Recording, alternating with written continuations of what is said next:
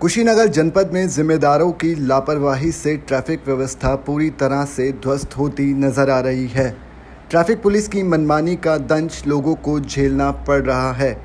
भीषण गर्मी में जाम की समस्या से दोहरा संकट खड़ा हो गया है। ज़िले की लगभग सभी सड़कों पर घंटों तक जाम लगा रहता है। ज़िले के पडरौना नगर, कसाया, कप्तानगंज, फाजिल नगर समेत कई जगह पर हर वक्त जाम की समस्या बनी रहती है। पडरौना के खिड़किया बाज़ार में पूरा दिन जाम लगा रहता है। यातायात प्रभारी की लापरवाही से गाड़ियों की लंबी लंबी लाइनें लग जाती हैं।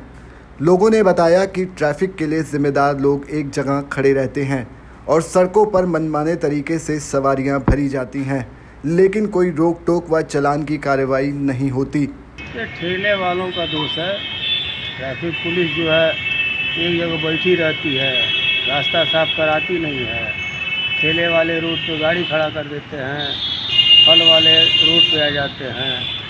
इसमें सारा दोष प्रशासन का, प्रशासन की ढिलाई है।